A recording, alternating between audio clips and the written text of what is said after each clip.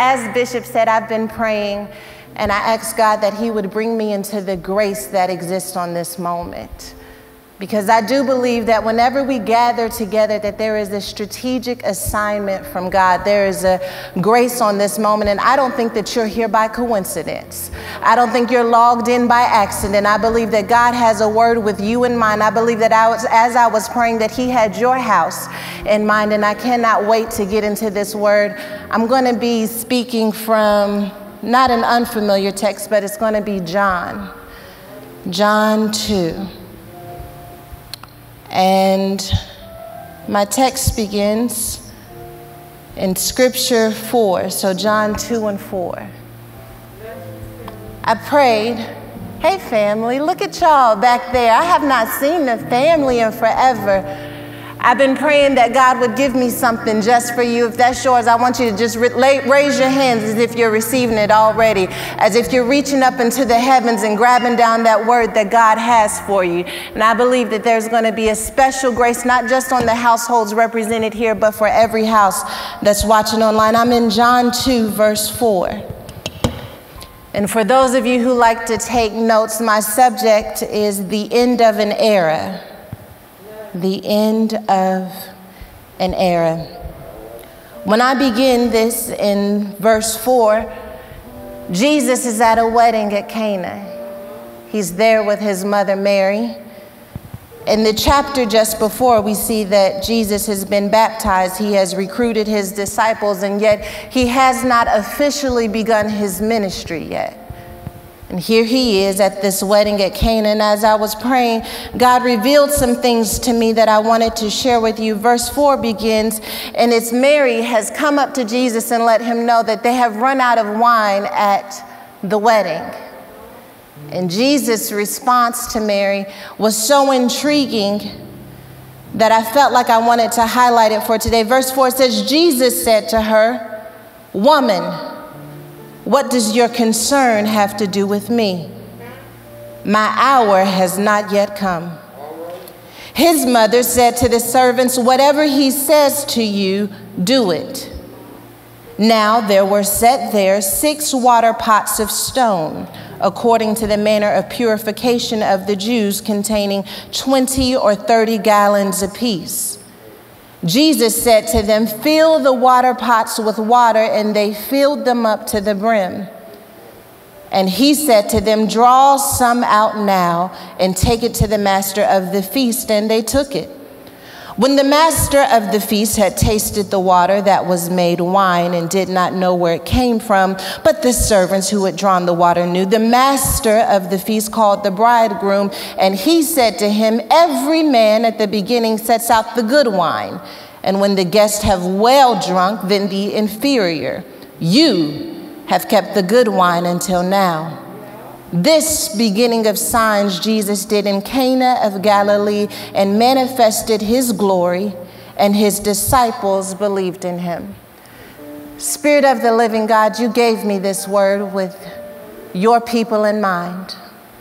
And so, Father, I ask that you would bring me into alignment with what heaven already knows. That you would allow this to be a moment where you sit with your people, Father your word, your spirit is not limited by distance, it is not limited by walls, Father. But if you speak a word, we know that it can permeate the earth. So I speak power flowing in Africa. I speak power flowing in the UK. I speak power in Mississippi, power in Canada, because it is the same power that reaches all of us that resurrected Jesus from the dead. Let your power fall, Father. And as your power falls, Father, I pray that there would be none of me and only you. This would be a moment of pure glory, Father. Let it rest over our house. Let it rest over our bodies. Let it rest over our mind. And may it change who we are. Because when your spirit shows up, there is no way we can stay the same. So let your transformational power fall in this place, great God that you are. Have your way. In Jesus' name.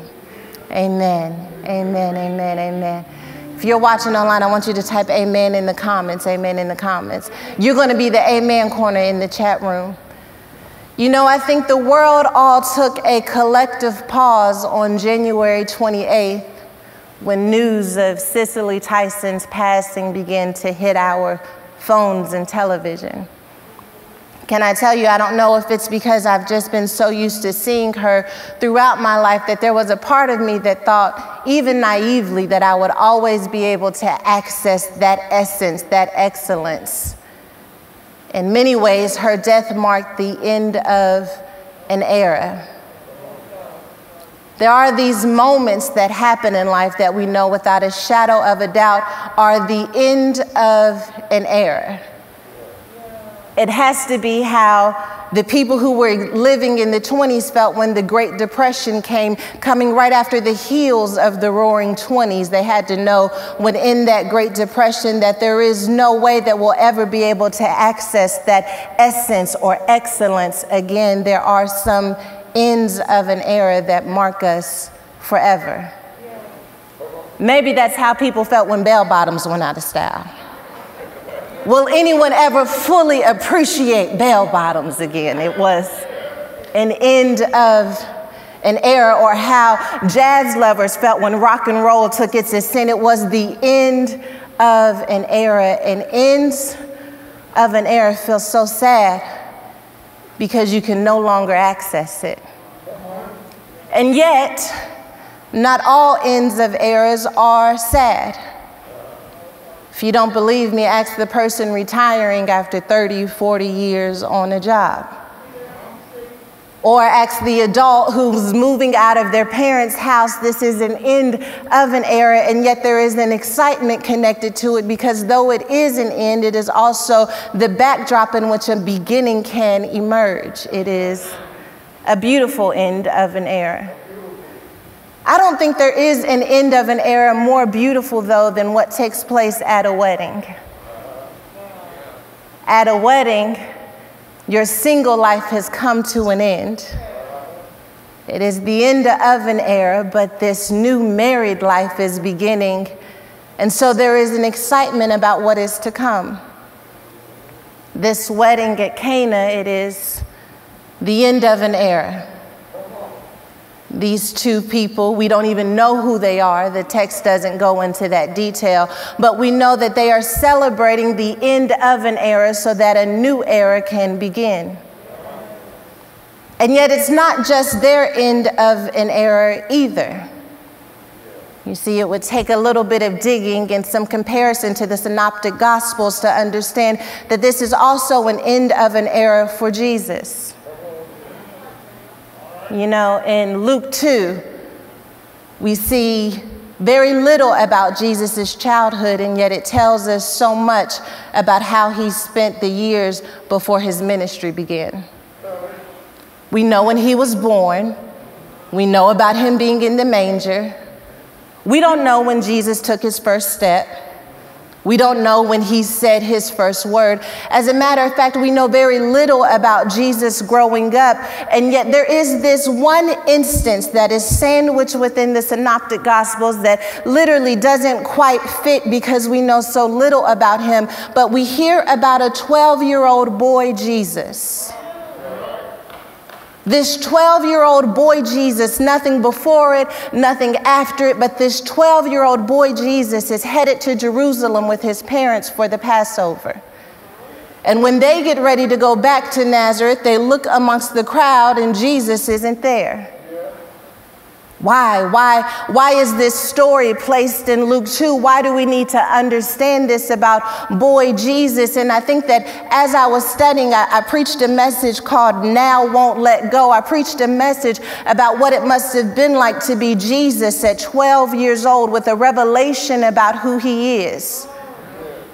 Because at 12 years old, when his parents are headed back to Nazareth, they look amongst the crowd and realize Jesus is not there.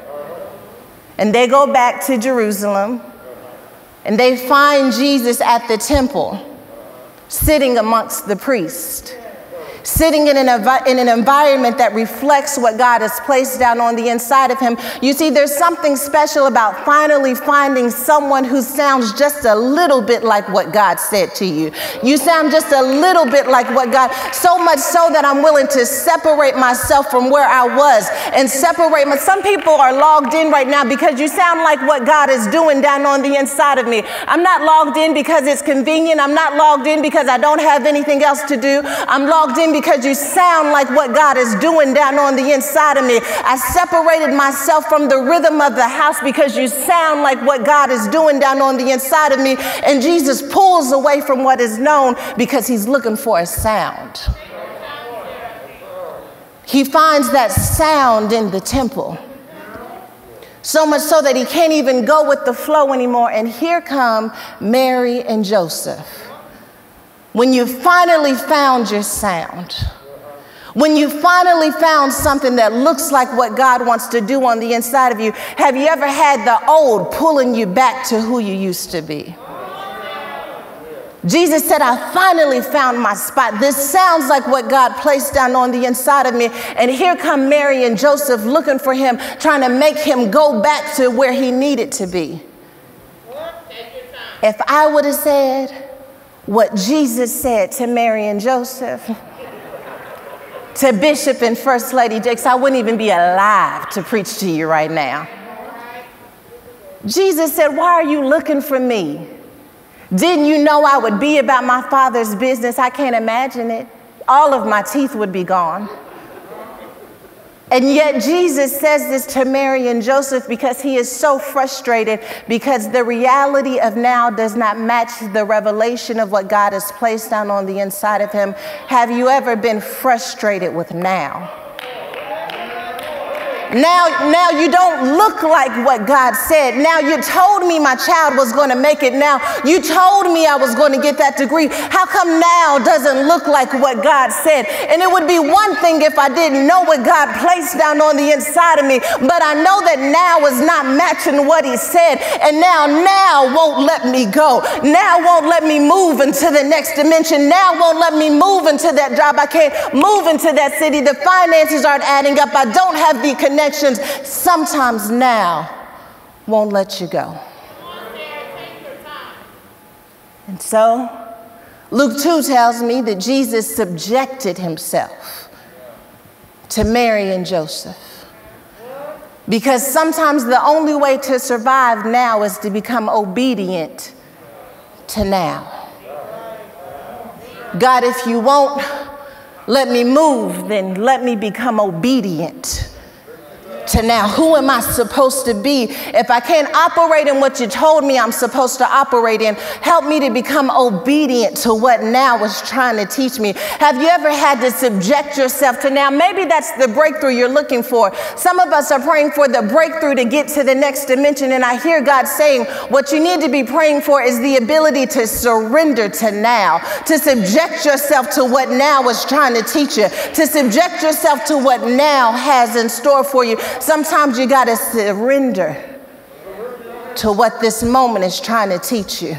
I wish I could get over this grief, but I got to surrender to what grief is trying to teach me. I wish I could move over into that next situation, but I got to surrender to what singleness is trying to teach me. I wish I had this. I wish I had that. The seduction of next is ringing in my mind, and yet the only thing I can do is surrender to what now is trying to teach me. I hear God saying there's another level of surrender that He wants to see. I hear God saying that there's another level of subjection that He wants you to see. And when you surrender to now like Jesus had to do. It's not always easy. But in the process of that, Luke 2 tells me that Jesus increased in wisdom and stature and in favor with God and men. You see, we don't want to surrender to now because we think we're going to lose something if we surrender to now. And yet, this, this story in the middle of Luke 2 that really doesn't even make any sense shows me that when I surrender to now, I can still increase. There is no sacrifice when I surrender to now. The only thing that now can do is teach me how to increase in wisdom and stature and in favor with God and men. This situation doesn't even look like it could benefit what God placed down on the inside of Jesus. And yet, in his surrendering, there was increase connected to it. I wish I could say it the way I sense it. But I need someone to understand that when you surrender to now, you don't lose next. When you surrender to now, you don't diminish. When you surrender to now, you don't decrease. God says surrender is the only way to increase. I know what the culture says. I know what they say on social media that if you get pulled back, you can't go forward. But I hear God saying for my people, the only way that they can go forward is if they're willing to get on a cross and surrender to now. If they're willing to be held back every now and then. If they're willing to surrender to my pace and not their own. Because the truth is, God's anointed can't be held back forever. You can't be held back forever. Somebody's got to let grief know I can't be held back forever. I may be held back for a minute, but I can't be held back forever. I'm going to surrender to what this moment is teaching me, but I can't be held back forever because I know who I am in God. And God didn't put it down on the inside of me for it to die on the inside of me. I may be held back for a moment, but I trust who's holding me back. It's not my promotion to have right now. It's not my house to have right now. It don't mean I'm not going to ever have it. It just means I can't have it now. And what I'm going to do with now is going to prepare me for next. So when we find Jesus in John 2, it is the end of an era. Because I no longer have to be held back anymore. From 12 to 30, we don't know what happened to Jesus, but we know that this was his first sign, the beginning of his ministry, which means he spent 18 years held back. That's somebody's word right now. You can be held back for 18 minutes, but do you have 18 years in you? You can be held back for a moment, but do you have some years for it? Somebody's been held back for years, and they've been thinking they'll never get released. But I hear God saying that this is the end of an era. I hear God saying, don't give up right now, that this is an end of an era. And we about to see Jesus in the era of being held back. Is this your word? I want you to reach up and grab it.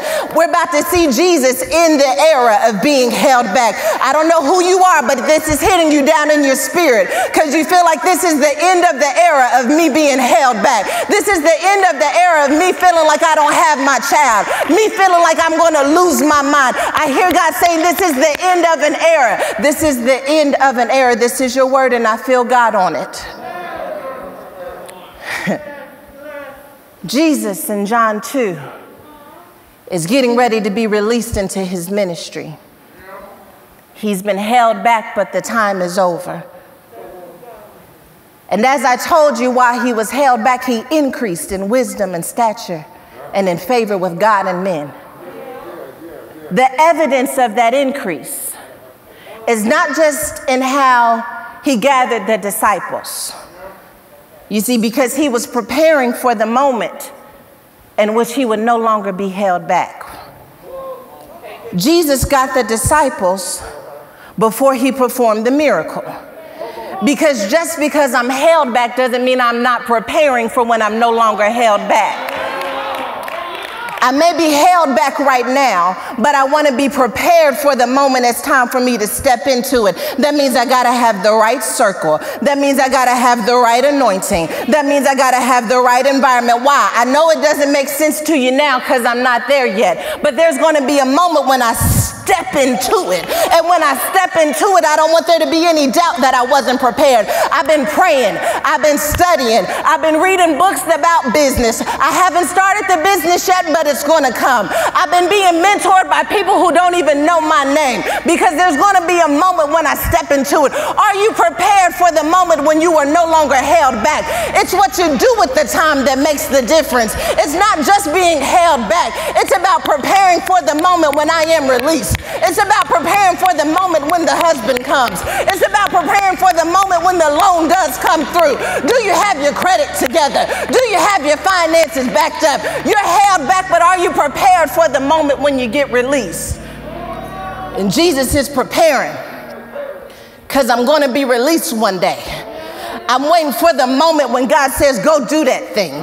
I'm waiting for the moment when God says, you got this. I'm waiting for the moment when God says, step into it. I got to have the right people with me. I got to have the right heart posture. I got to have the right spirit. I got to let the Holy Spirit fall on me because I don't want to get there and have the trauma from the generations with me. I want to be healed when I get there. I want to be whole when I get there. I want to have empathy when I get there. And the evidence of his preparation is not just in who he collected, it's in how his perspective changed about his anointing. because his perspective shifted in such a way that he's no longer the 12 year old boy looking to connect with his anointing, he's looking to protect his anointing. You see? Connection is what we need when we're desperate to be affirmed. Protection is when you recognize who you are so I can't just connect to anybody anymore. That's why the ministry couldn't start it at 12. Because if it would have started at 12, he would have been friends with the very temple he was meant to tear down. That's why he had to wait to be increased in wisdom and stature and in favor with God and men. You see, you'll settle too low right now if I connect you. You got to come to a place where you're willing to protect it over connection. When you're raising children, you understand this well. Because sometimes I got to protect you before I can connect with you. I got to protect what God is doing down on the inside of me. I can't just connect with anybody. And Jesus has shifted in such a way that it is more important to him to protect his anointing. My hour hasn't come yet. I got to protect what God is doing. Mama, I know you got a problem, but I got to protect what God is doing for me. I'm not looking to just pour this anointing out anywhere. I got to protect it so it's effective. I got to protect it so it can do what God has called it to do. No, I can't just go anywhere. No, I just can't connect with anyone anymore. That was 12 year old me. That was a lesser version of who I was. The anointing was there, but I was too desperate for affirmation. I had to come to a place where I understood who I am. And when you understand who you are, you're more willing to protect it than connect with it. That's why I can be by myself, because I'm willing to protect it more than I am willing to be connected. That's why I'll keep the, in, the idea inside of me because I'm willing to protect it more than I'm willing to just connect it with anything that passes by. Jesus has come to a place where protection is more important to him than connection. You know, I used to believe that when Mary tells Jesus that they've run out of wine, that he was being asked to perform a miracle. But if we're honest, there's really nothing in the text that suggests that she was doing anything other than stating a fact. We've just run out of wine. I think there was something about the way Jesus responded that let Mary know that he's ready to walk into it. God help me. When the problem starts irritating your anointing,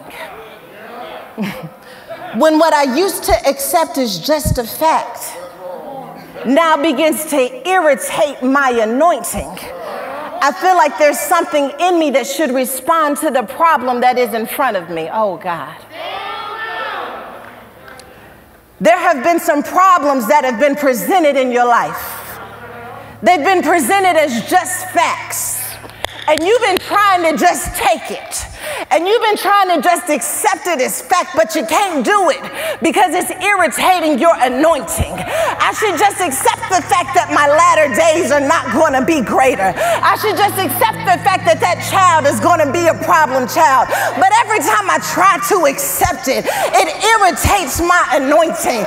It makes me feel like it's a problem for my spirit. Mary just stated a fact, but God said, You're trying to vex my anointing.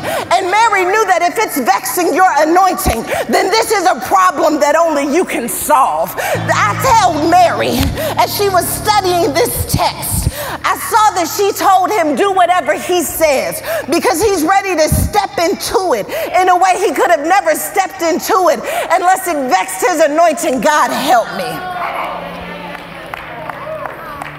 What have you been accepting as fact that has been vexing your anointing? Because I hear God saying that this is the end of an era for that problem. Oh, That problem is coming to an end. Mary presents a problem.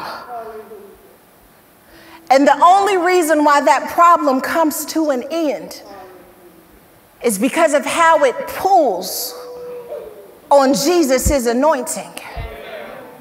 She didn't say Jesus performed the miracle, but Jesus response Says, Woman, what does it have to do with me? My hour hasn't come. I, I, didn't think it had anything to do with you, but now that you've responded in that way, it makes me feel like maybe, quite possibly, this is a problem that only your anointing can solve. Jesus is waiting for an hour. He doesn't realize that the hour is coming as a problem. Most people miss their moment because they don't realize that their moment is disguised as a problem. And the moment that he realizes that this moment is disguised as a problem, my hour is disguised as a problem, he can step into it. Your hour of breakthrough is not coming when everything looks good. It's not coming when everything is pretty. It's not coming when everything has lined up and you're ready to step into it. The hour is coming when you recognize that I got to take authority over a problem. And when I take authority over that a problem, that I'm not just going to do it by stepping into it is me. I'm going to do it by stepping into who God called me to be. I hear God saying the hour of you sitting back and acting like you don't have the Holy Ghost, that you don't have the power, that you don't have the anointing is over. I hear God saying that I called you into this wedding because it is the end of an era, not just for the married people, but it is the end of an era for a version of you that is less than who God has called you to be. I hear God saying you you've been on the sideline long enough. It's time for you to walk into it in a fresh new way. This is it. This is the end. This is the end you've been waiting for. This is the breakthrough you've been waiting for. We don't need to wait until the pandemic is over. We don't need to wait until the child gets out of jail. We don't need to wait until the problem is bigger than us. I hear God saying that it can end right now if you dig down to who I've called you to be. Mary says to Jesus, He says to the servants, do whatever, do whatever He says. This is the moment that we see Jesus finally become who he always knew he was destined to become. On the backdrop of a wedding, the ultimate bridegroom takes his position. This is the moment. It's disguised as a problem, but this is a moment. I want you to get your problem in your mind. I want you to get that issue that's plaguing you in your mind. That's your moment. Your moment isn't in the bank account. Your moment isn't in another check. It's in the problem. It's in the problem. It's in the problem. It's in the problem. The breakthrough is in the problem. The anointing is in the problem. The miracle is in the problem. What is a miracle if there is no problem? What is a breakthrough if there is no breakdown?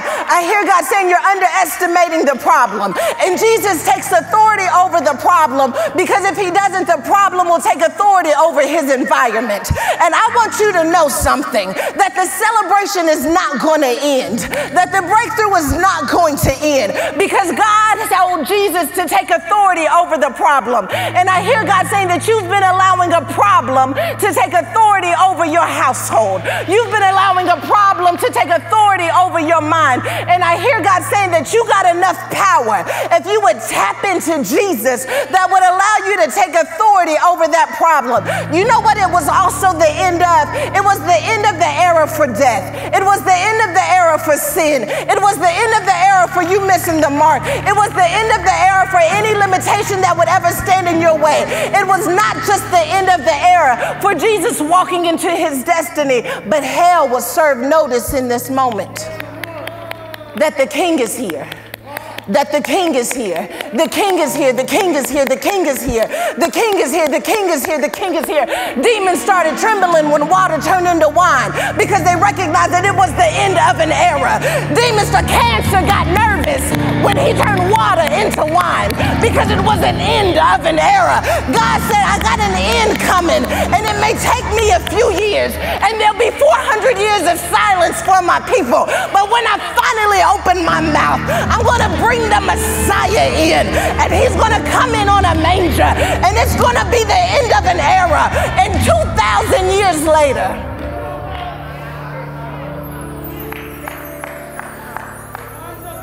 you still have access to the end.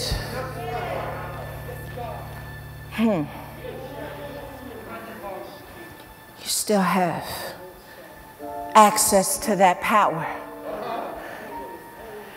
that causes problems, that causes suicide, that causes depression to end. And maybe you've been letting it irritate you, but you haven't taken authority over it. Who would you be if you took authority over the problem that's taking authority over your marriage? You took authority over the issues that taken authority over your mind, it's not bigger than you. Sir, it's not bigger than you. No. Sis, it's not greater than you. And there were just a few things that Jesus did in that moment when he stepped into it. And if you will allow me, I want to suggest that you do the very same thing. He took, he accepted authority. Mary said, Whatever he says to do, do it. He accepted that I got authority over this thing. Oh, I feel something on that. Oh, I feel something on that. That feel like something old school. I accept that I got authority over this thing. I accept that I got authority over disease. I accept that I got authority over this church. I got authority over this ministry. I got authority over this child. I hear God saying you need to reach up and grab your authority. That you need to reach up and grab that power. That that same Jesus that was raised from the dead did so that you could have authority over that situation. Then he did something else. She said, Whatever he says, do it. He started opening his mouth. It's one thing to have authority, it's another thing to open your mouth and use that authority that God gave you. God said, If you open your mouth, I'll fill your mouth. You won't open your mouth because you don't know what you're going to say. But I hear God saying, if you open your mouth, I'll give you the words when you get there. I don't even have to go back in my Bible to prove that because somebody ought to know about Moses who didn't want to open his mouth. And God said, if you would just give me your mouth, I'll give you the words when you get there. Somebody needs to start speaking over that problem. You need to start speaking over that situation. I shall live and not die, not in my house not in my marriage, not in my finances, not in my home, not in my body. Then he opens his mouth and he doesn't have to look for anything to solve the problem. Because everything he needed to fix the problem was already in the environment. That's what happens when you don't take authority over the problem. When you don't take authority over the problem, you cannot see a solution. But when you take authority over the problem, you see how all of the components are already within reach. He says, Take six water pots. I, I, don't even need you to go and find water pots for this miracle. I hear God saying, You already know everybody you need to know. I hear God saying, You already have all the finances you need. You don't need another check. You don't need another mentor. You don't need anyone else to come from anywhere else. You already got what you need. God was just waiting for you to take authority so that you could see what you have properly. Now that I understand the problem, and now that I've taken authority over the problem, problem. Now I can see how to use this and that to fix it. I see the miracle is already in me reach. The miracle is already at your house. I'm glad you're watching at home because your water pots are at your house. I'm glad you're watching from your house because the miracle is already under your roof. I hear God saying, I already know where you live. I already know how to get it to you.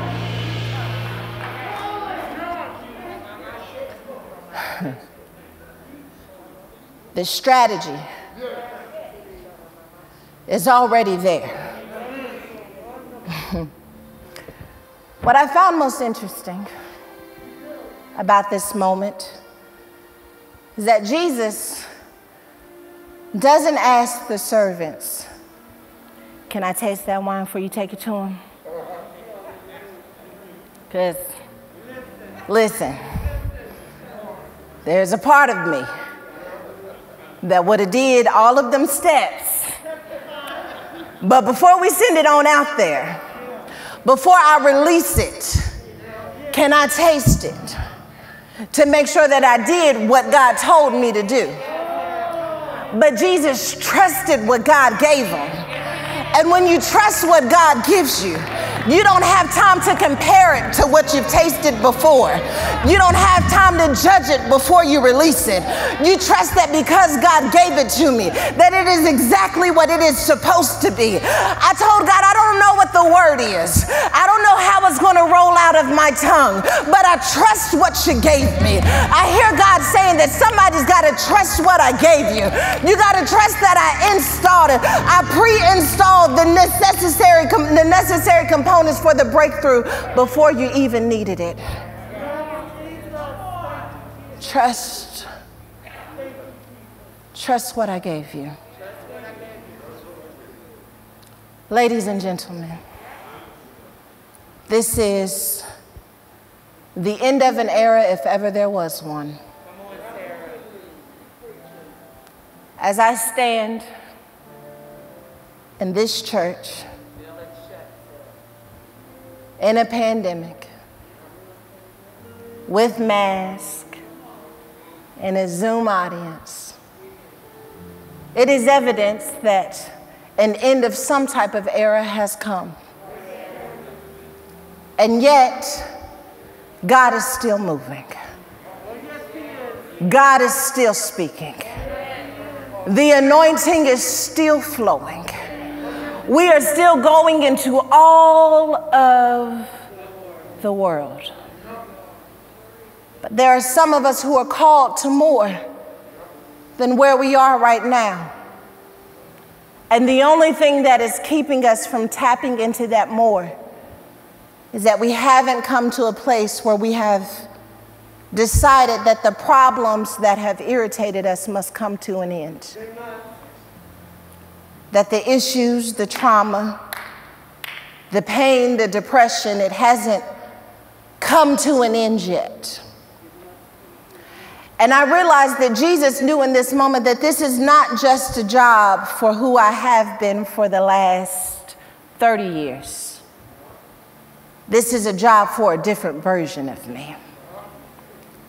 I want to challenge you watching at home to say that this is an end of an era for that version of who I am. There is a new version of me that is dying to get out. It's been dying to shake the earth. It's been dying to finally be aligned. And I've been waiting for an hour But I hear God saying the fact that you even see it as a problem is a sign that the problem is coming to an end. I want to talk to somebody today who was going to make a decision that I don't even need a new year to come. I don't even need a new boo to come. All I need to do is come into a place where I realize that it is an end of an era for a version of me that can no longer exist in the next that God is calling me to. This is a job for a version of me that has been anointed. This is a job for a version of me that has been appointed. This is a job for a version of me that has been in me since I was little, but I didn't have the right environment to break it out. I didn't have the right components to break it out. I didn't have the right team. I hear God saying, You got the right team now. I hear God saying, You got the right vision now. I hear God saying, You got the wisdom, you got the stature, and by God, you got the favor. Are you going to step into it or what? Are you going to be who I've called you to be or what? The kingdom needs some kings. The kingdoms need some princesses. The kingdom needs somebody who will wear a crown. And I want to know is it true or not? Because we got a world to change. We got a devil to chase. We got demons to put in surrender. And if it's you, I want to invite you to a moment to a moment of transformation. Mm. Mark Twain once said that the two most important days in a person's life is when they're born and when they find out why. If I could add to the eloquent poet's saying, I would say that an additional day that is just as important is when you step into your why. The day you're born, the day you find out why, but just because you know doesn't mean you can go. But there is a moment when you step into your why. This message, this word, is somebody's sign that it's time for you to step into your why. Before I formed you in your mother's womb, I knew you. I knew this was in you. I knew you could handle this. I knew you could carry this. I knew you were anointed for this child. I knew you were anointed for this marriage. I knew you were anointed for that ministry. I knew you were anointed for that church. I knew you were anointed for this I hear God saying it's time for you to step into it all of the way. This is the end of the era of what was, the end of the era of you shrinking, the end of the era of you no longer believing that you had access the end of the era of you not believing that you have authority or power, that era is coming to an end. You're gifted. You're gifted. Even now, you're gifted. Even still, there's more in you. I know you've seen a lot. I know you've done a lot, but I hear God saying there's still more, there's still more, there's still more. You're at home, there's tears streaming down your face, there's still more for you, there's still more. This is the end of an era. And I want to pray with you because it takes time. It takes time for an era to end. And it takes courage to believe that just because it's ending doesn't mean that there's not something new beginning. It ended, but there's still life. It ended, but there's still hope. You're dealing with grief, maybe you're, you've lost someone and it feels like I'll never access that essence again. But maybe you'll become that essence. Maybe your marriage, it went through some breakdowns and you think we'll never find that love again. No, maybe we'll find a deeper love than we had before. Yes, it's okay for an era to come to an end. We miss jazz, but we love rock and roll. Hmm. We miss the roaring 20s, but by God, the technology age is something to behold. God says, I can continue to do exceedingly and abundantly, but you have to trust me in the moments where errors have come to an end. You may have not had a choice when your era came to an end, when you lost someone, when you left that job, when you moved to that city, when that marriage ended. You may have not had an option. But you get to choose what you do from here. Hear God saying it's time for you to take your position. And if it's okay, I want to pray with you. I want to pray for everyone walking into an ending with faith that something new is beginning. I want to pray that God would give you, as my husband would say, the gift of goodbye.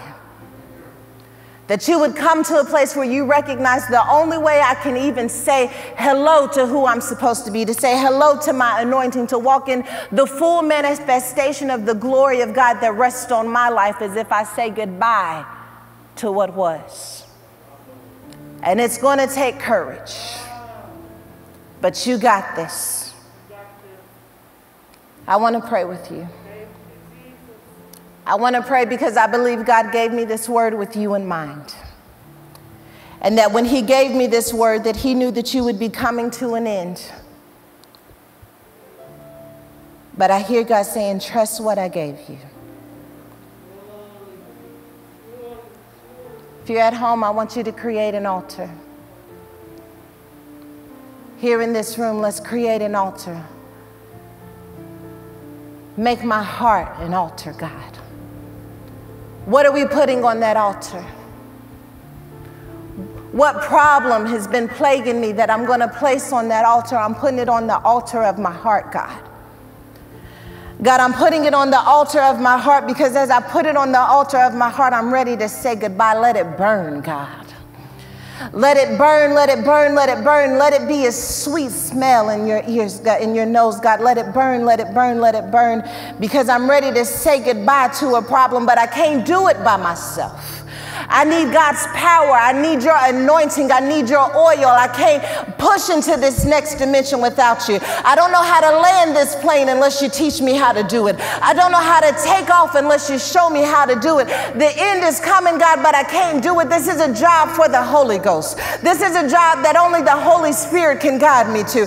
God, I don't know how to use what you placed around me. I don't know how to organize it. I don't know how to direct it. I don't know how to raise this child. This is a job that is beyond me. And I hear God saying it's all right for it to be beyond you because it is not beyond who God is. It is not beyond the knowledge of what God has. It is not beyond the knowledge of who He has called you to be. I hear God saying you've been trying to do it on your own long enough, that this is a job that only you and I can do together. When Jesus dipped down into that anointing, the glory fell so hard that it kicked off his ministry for the next three years, that God's glory manifested on him. I want to prophesy over you you right now that this problem is going to be the kickstart of God's glory, that it's going to keep rolling in your life, that that glory, the glory, the glory, the glory that you've been missing is about to hit your household like never before.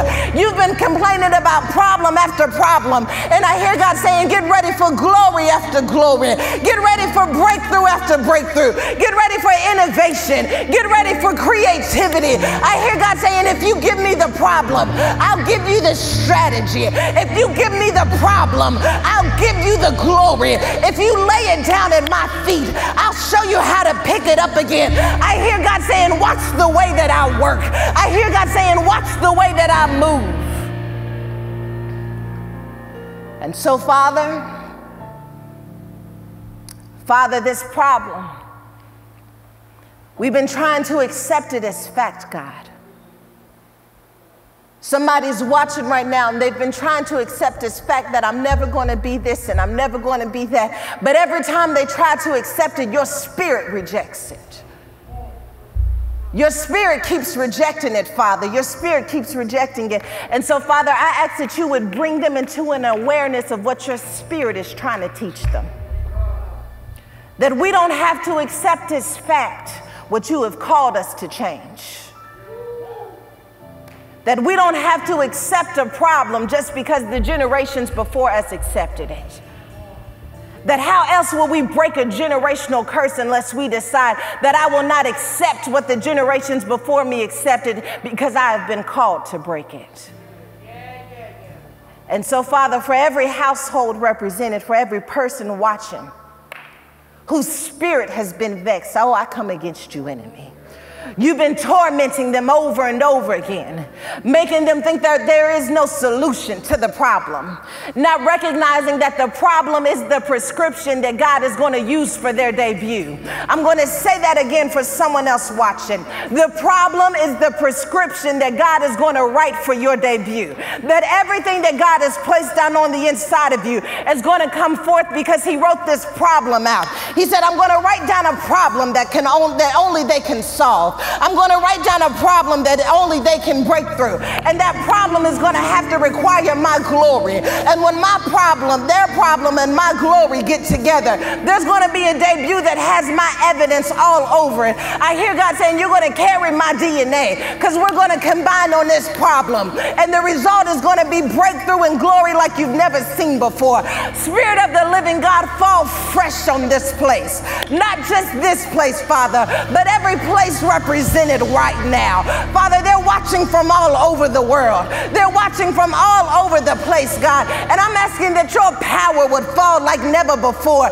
I hear God saying that I got six water pots, but I'm waiting for somebody who's willing to take authority over the emptiness, who's willing to take authority over where there is nothing left. And I hear God saying it is from that place that my glory is going to fall. And it's not just going to fall, it's to flow, baby, flow, baby, flow flow. It's gonna flow, baby, flow, baby, flow.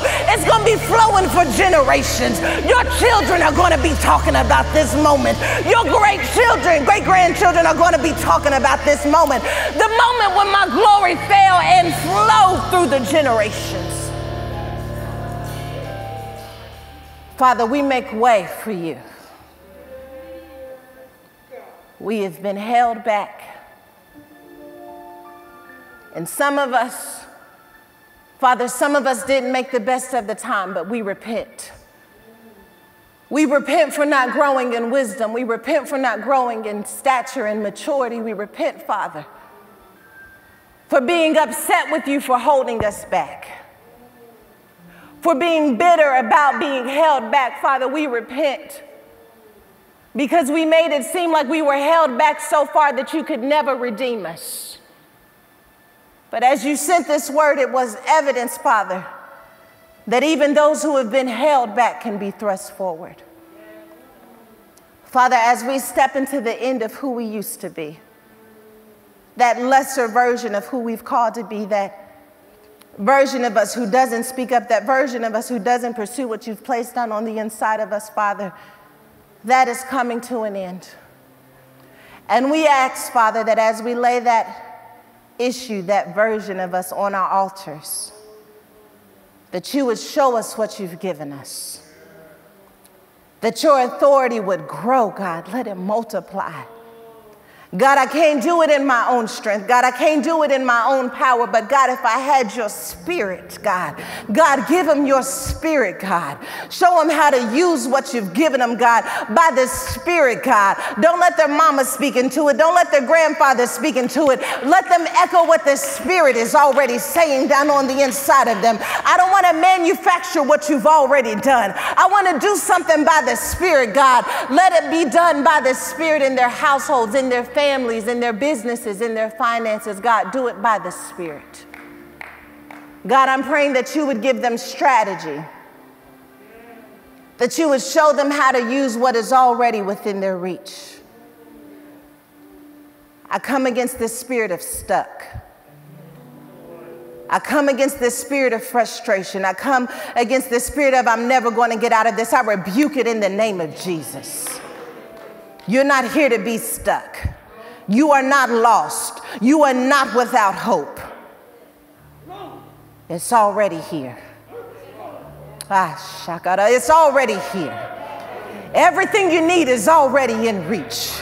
Everything you need has already been anointed to produce a miracle. It's already here. You already got access to it. It's already here.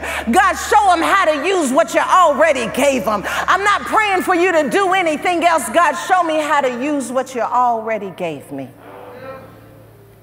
And as I use it, God, don't let me use it and not have faith in it. Don't let me use it and not trust it. Don't let me use it and not believe that it's potent. Let me use it from a place of confidence, from a place of trust. God, wherever there's going to be a release, wherever there's going to be a fresh start, Father, I pray that they wouldn't do it afraid. Sometimes we have to do it afraid. Not this time. Let your peace fall when your power comes. Let your trust comes when your power falls. Everything that your presence carries, joy unspeakable, let that let that fall when your power falls, Father. And as we receive this word, God, I pray that it would take root and that it would produce fruit the kind of fruit that feeds our children for generations after this. There are some endings that are okay, tough, but okay. God, let this be an end that we thank you for because it marked the fresh beginning of who we are in you. We receive it, Father. We hold it close to our soul. And we say, we'll never let it go. In Jesus' name. Amen. Amen, amen, amen. Amen. I believe that this may be one of those words that you want to chew on for a little bit. And so I want to make sure that you stay plugged in, not just for this word, but for the sound that is being released for your spirit right now. Create an environment for this word to continue to flourish this word is but a seed. The environment is what you do with after this word. Let this word continue to have an environment. And if you're like me and this word is something that you feel like this is for sure something that I need to have in my atmosphere, as a matter of fact, I want to sow a seed. I'm going to challenge you. I'm going to sow a $600 seed, six water pots. I'm going to take $600 and I'm going to sow it into this moment. For you, it may not be $600. It could be $6. It could be 60,000. It could be 6 million. We don't know what God has placed on your heart, but I want to give you an opportunity to show God that I didn't just receive this word. I'm going to step into this word. I'm going to step into this word and I'm going to let it cost me something.